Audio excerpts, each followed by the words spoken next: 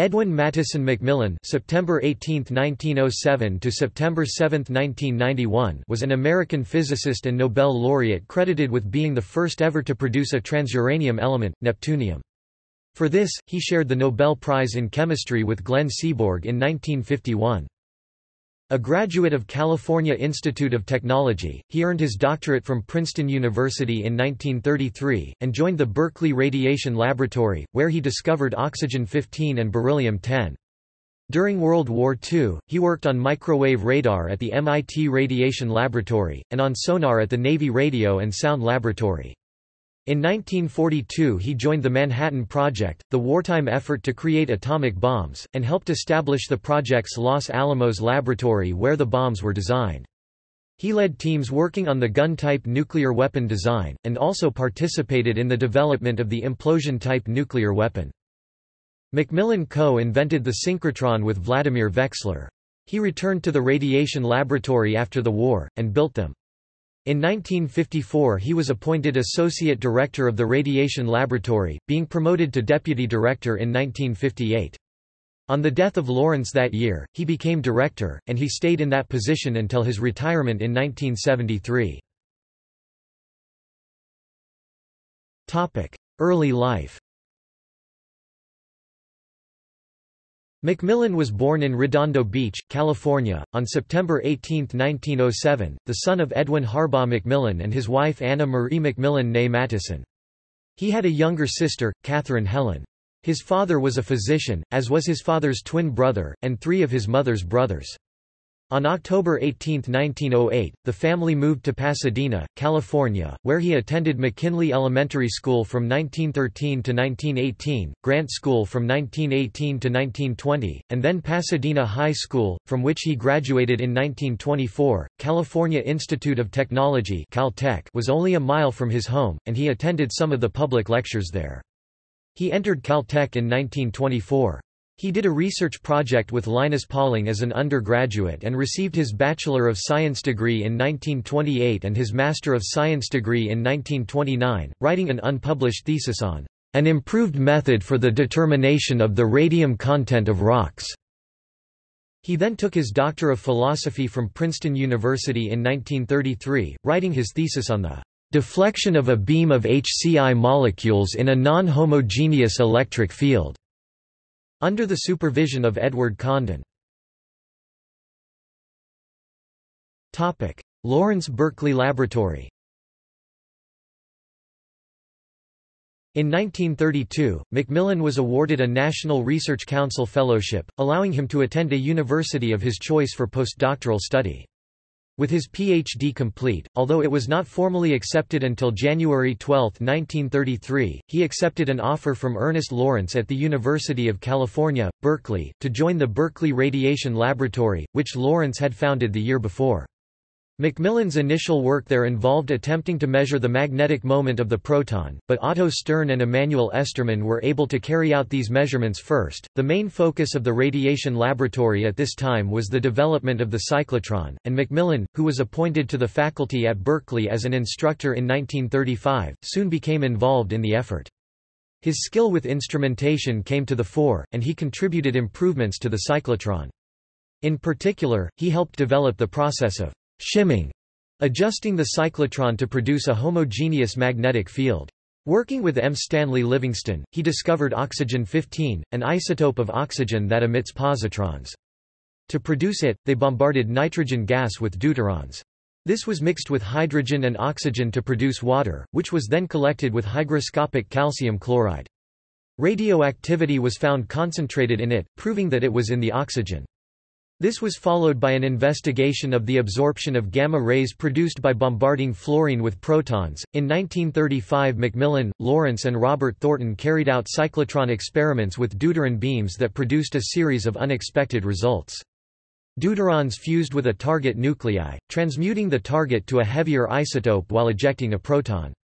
Their experiments indicated a nuclear interaction at lower energies than would be expected from a simple calculation of the Coulomb barrier between a deuteron and a target nucleus. Berkeley theoretical physicist Robert Oppenheimer and his graduate student Melba Phillips developed the Oppenheimer-Phillips process to explain the phenomenon. McMillan became an assistant professor in 1936, and an associate professor in 1941. With Samuel Rubin, he also discovered the isotope beryllium-10 in 1940. This was both interesting and difficult to isolate due to its extraordinarily long half-life, about 1.39 million years. Discovery of neptunium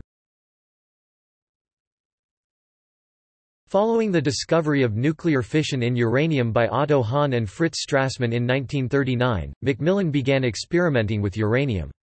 He bombarded it with neutrons produced in the Radiation Laboratory's 37-inch cyclotron through bombarding beryllium with deuterons. In addition to the nuclear fission products reported by Hahn and Strassmann, they detected two unusual radioactive isotopes, one with a half-life of about 2.3 days, and the other with one of around 23 minutes. McMillan identified the short-lived isotope as uranium-239, which had been reported by Hahn and Strassmann. McMillan suspected that the other was an isotope of a new, undiscovered element, with an atomic number of 93. At the time it was believed that element 93 would have similar chemistry to rhenium, so he began working with Emilio Segre, an expert on that element from his discovery of its homologue technetium. Both scientists began their work using the prevailing theory, but Segre rapidly determined that McMillan's sample was not at all similar to rhenium. Instead, when he reacted it with hydrogen fluoride HF with a strong oxidizing agent present, it behaved like members of the rare earth elements. Since these comprise a large percentage of fission products, Segre and McMillan decided that the half-life must have been simply another fission product, titling the article, An Unsuccessful Search for Transuranium Elements. McMillan realized that his 1939 work with Segre had failed to test the chemical reactions of the radioactive source with sufficient rigor. In a new experiment, McMillan tried subjecting the unknown substance to HF in the presence of a reducing agent, something he had not done before. This reaction resulted in the sample precipitating with the HF, an action that definitively ruled out the possibility that the unknown substance was a rare earth. In May 1940, Philip Abelson from the Carnegie Institute in Washington, D.C., who had independently also attempted to separate the isotope with the 2.3-day half-life, visited Berkeley for a short vacation, and they began to collaborate. Abelson observed that the isotope with the 2.3-day half-life did not have chemistry like any known element, but was more similar to uranium than a rare earth. This allowed the source to be isolated and later, in 1945, led to the classification of the actinide series. As a final step, McMillan and Abelson prepared a much larger sample of bombarded uranium that had a prominent 23-minute half-life from 239 U and demonstrated conclusively that the unknown 2.3-day half-life increased in strength in concert with a decrease in the 23-minute activity through the following reaction. U. 92 238 plus. N. 0 1 U. 92 239 23 min. beta. minus NP 93 239 Neptunium. 2.355 days. beta.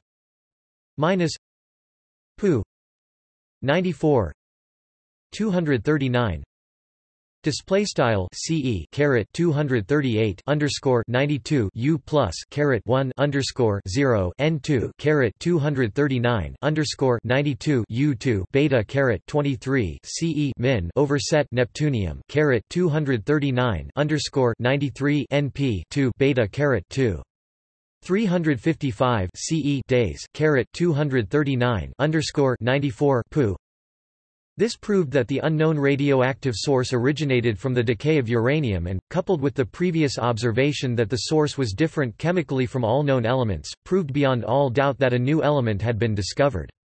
McMillan and Abelson published their results in an article entitled Radioactive Element 93 in the Physical Review on May 27, 1940.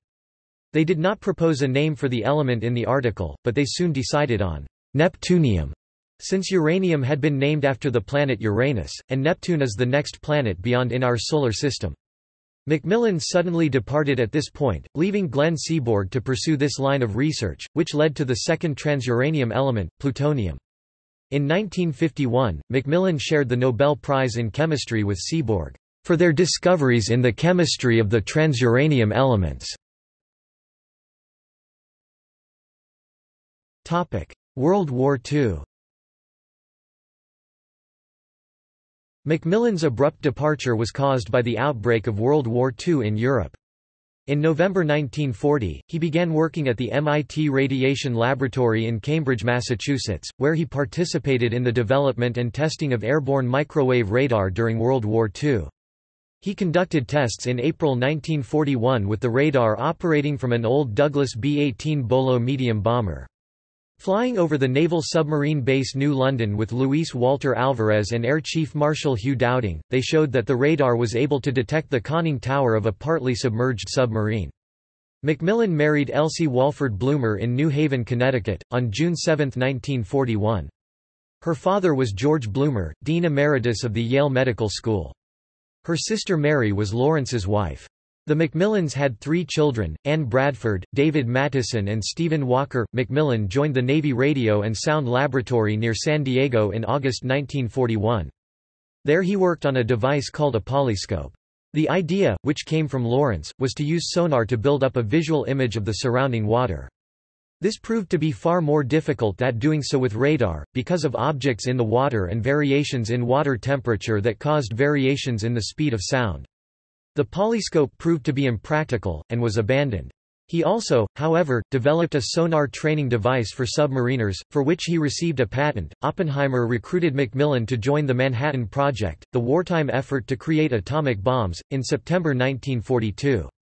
Initially, he commuted back and forth between San Diego, where his family was, and Berkeley. In November he accompanied Oppenheimer on a trip to New Mexico on which the Los Alamos Ranch School was selected as the site of the project's Weapons Research Laboratory, which became the Los Alamos Laboratory. With Oppenheimer and John H. Manley, he drew up the specifications for the new laboratory's technical buildings. He recruited personnel for the laboratory, including Richard Feynman and Robert R. Wilson, established the test area known as the Anchor Ranch, and scoured the country for technical equipment from machine tools to a cyclotron. As the laboratory took shape, McMillan became deputy head of the gun-type nuclear weapon effort under Navy Captain William S. Parsons, an ordnance expert. The plutonium gun, codenamed Thin Man, needed a muzzle velocity of at least 3,000 feet 910 meters per second, which they hoped to achieve with a modified Navy 3-inch anti-aircraft gun. The alternative was to build an implosion-type nuclear weapon. McMillan took an early interest in this, watching tests of this concept conducted by Seth Neddermeyer. The results were not encouraging.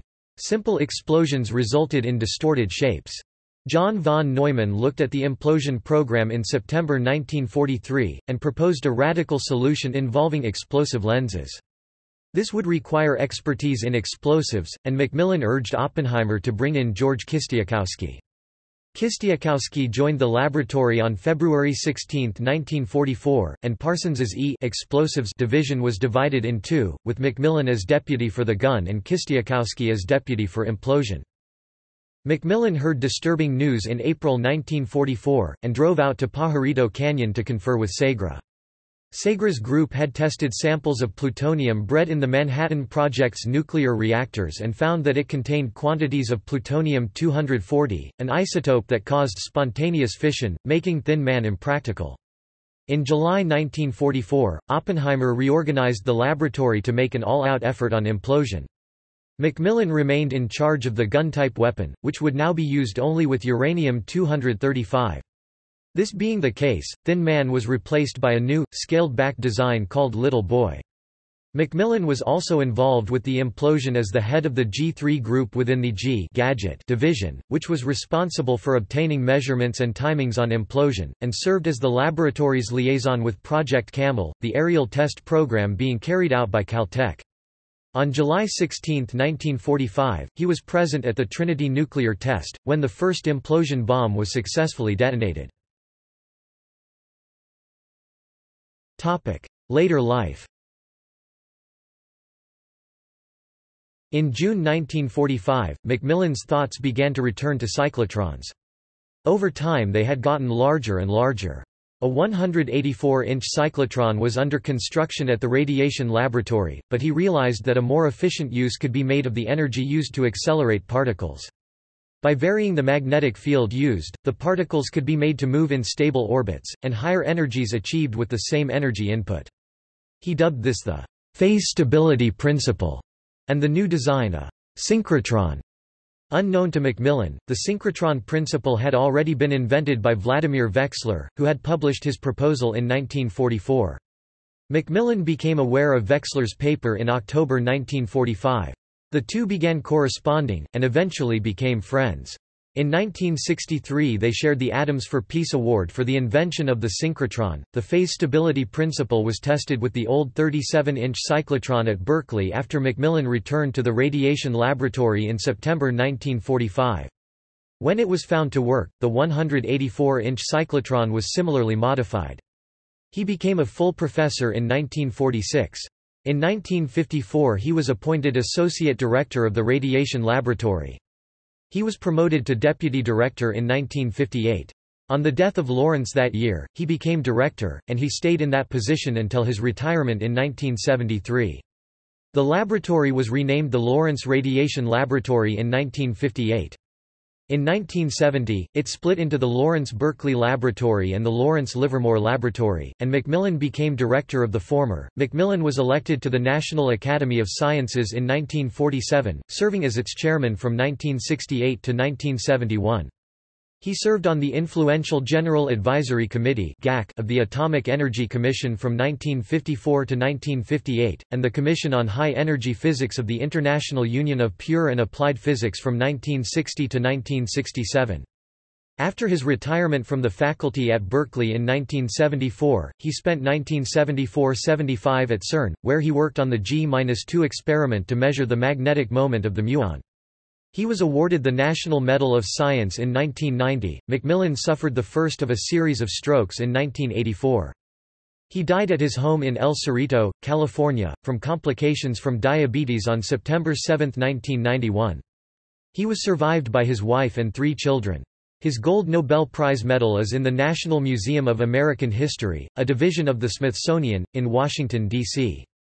Topic publications McMillan, E. M. Focusing in Linear Accelerators, University of California Radiation Laboratory, Lawrence Berkeley National Laboratory, United States Department of Energy through predecessor agency the Atomic Energy Commission, August 24, 1950. McMillan, E. M. A thick target for synchrotrons and betatrons, University of California Radiation Laboratory, Lawrence Berkeley National Laboratory, United States Department of Energy through predecessor agency the Atomic Energy Commission, September 19, 1950. McMillan, E. M. The Transuranium Elements, Early History Nobel Lecture, University of California Radiation Laboratory, Lawrence Berkeley National Laboratory, United States Department of Energy through predecessor agency the Atomic Energy Commission, December 12, 1951. McMillan, E. M. Notes on Quadrupole Focusing, University of California Radiation Laboratory, Lawrence Berkeley National Laboratory, United States Department of Energy through predecessor agency the Atomic Energy Commission, February 9, 1956. McMillan, E. M. Some Thoughts on Stability in Nonlinear Periodic Focusing Systems, University of California Radiation Laboratory, Lawrence Berkeley National Laboratory, United States Department of Energy through predecessor agency the Atomic Energy Commission, September 5, 1967. Topic notes topic References Hoddeson, Lillian, Henriksen, Paul W., Mead, Roger A., Westfall, Catherine L. 1993. Critical Assembly, A Technical History of Los Alamos During the Oppenheimer Years, 1943–1945. New York, Cambridge University Press. ISBN 0-521-44132-3. OCLC 26764320. Jackson, David J., Panofsky, W. K. H. 1996. Biographical Memoirs, Edwin Mattison McMillan, the 18th of September 1907 to the 7th of September 1991, PDF. Biographical Memoirs. National Academy Press, 69 to 215-241. Retrieved July 16, 2015. Lofgren, Edward J., Abelson, Philip H., Helmholtz, A. Carl February 1992. Obituary, Edwin M. McMillan. Physics Today. 45 118–119. Bibcode, 1992 PHT, 45b, 118L. doi, 10.1063, 1.28095550. Archived from the original on 4 October 2013. Rhodes, Richard 1986. The Making of the Atomic Bomb. London, Simon & Schuster. ISBN 0-671-44133-7. Seaborg, Glenn 1993. Biographical Memoirs, Edwin Mattison McMillan, the 18th of September 1907 to the 7th of September 1991. Proceedings of the American Philosophical Society, 137 286 to 291. JSTOR 986736. External links. Audio lecture by Edwin McMillan at Los Alamos National Laboratory Voices of the Manhattan Project Audio lecture by Elsie McMillan at Los Alamos National Laboratory Voices of the Manhattan Project McMillan's Nobel Lecture, The Transuranium Elements, Early History